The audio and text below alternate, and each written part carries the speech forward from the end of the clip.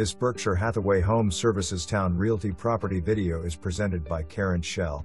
Charming three bedroom ranch home with two full bathrooms and two car attached garage.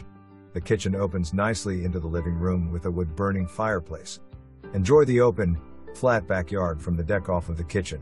Fabulous location with shops, restaurants, historic Jamestown, Colonial Williamsburg, and the College of West and M. Route 199 all nearby. For more information, review the details below.